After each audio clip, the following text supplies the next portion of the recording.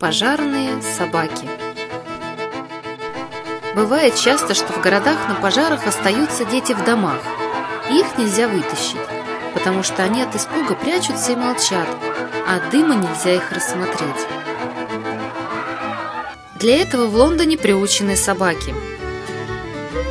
Собаки эти живут с пожарными, и когда загорится дом, то пожарные посылают собак вытаскивать детей – Одна такая собака в Лондоне спасла 12 детей.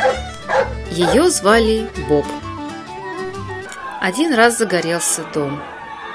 И когда пожарные приехали к дому, к ним выбежала женщина. Она плакала и говорила, что в доме осталась двухлетняя девочка. Пожарные послали Боба. Боб побежал по лестнице и скрылся в дыме. Через пять минут он выбежал из дома и в зубах за рубашонку нес девочку – Мать бросилась к дочери и плакала от радости, что дочь была жива. Пожарные ласкали собаку и осматривали ее, не обгорела ли она.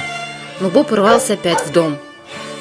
Пожарные подумали, что в доме есть еще что-нибудь живое, и пустили его. Собака побежала в дом и скоро выбежала с чем-то в зубах. Когда народ рассмотрел то, что она несла, то все расхохотались. Она несла большую куклу.